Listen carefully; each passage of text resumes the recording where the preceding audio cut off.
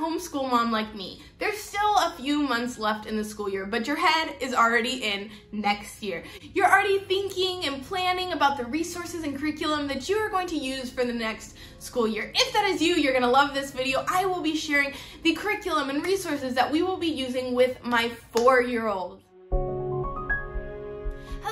to Mi Familia homeschool. My name is Marissa and I live in Miami with my husband and my three daughters. We are a family that has chosen homeschool as the way that we will educate our children.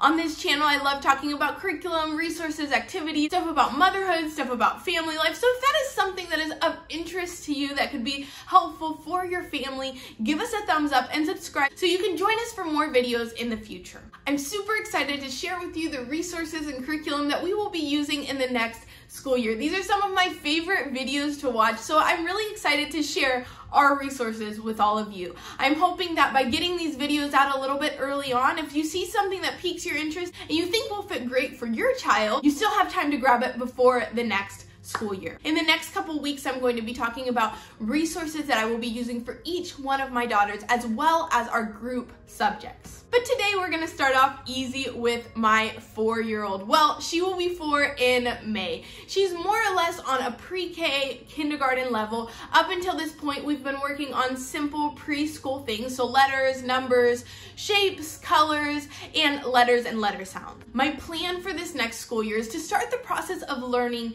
to read. This is the point where I started that process with my oldest daughter, and I feel like my four-year-old will be ready for that. Obviously, I always start with going over letters and letter sounds, and she has a really good foundation in that, so I feel like she's ready to start putting those sounds together. There are several resources that I used for my oldest daughter when we were going through this process, but this time I'm trying something new. This next school year, we are going to be using Foundations Phonics from Masterbooks. I'm really excited to dig into this resource.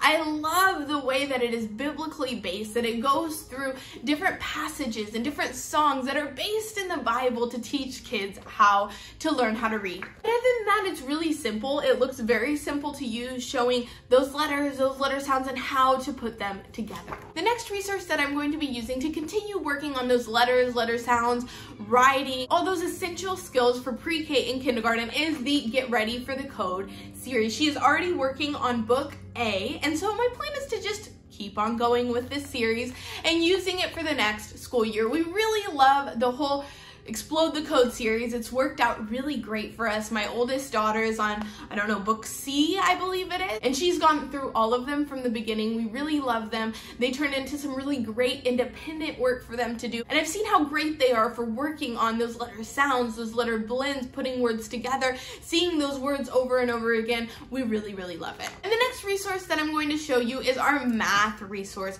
So this is a resource that I've already talked about before. This is one that we actually have have already gotten started on. We started on it in January. This is Math Lessons for Living Education from Masterbooks. If you haven't seen this resource before, it goes through a story in each unit that follows these kids and ties those math concepts into the story.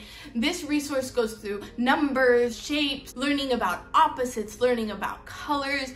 It's a really great resource. We're really loving it. So my plan in the next school year is to just keep working on this, go through it, finish it and we're not in any hurry, but once we get through the Math K from Masterbooks, my plan is to start with the math curriculum that my oldest daughter is using. My oldest daughter started in January with the Math-U-See curriculum, and we're loving it. I'm loving Math-U-See. We finally found our math curriculum, and I'm so excited. And so my plan, once she finishes Math K from Masterbooks, is to get Math-U-See Primer and start working on that with her. So those are the resources that I will be using with my youngest daughter for this next school year. I hope that this video was useful for you, that you enjoyed it. Maybe you got some ideas for your little one for the next school year. If you liked it, make sure to give us a thumbs up and subscribe so you can join us next week with Mi Familia Homeschool.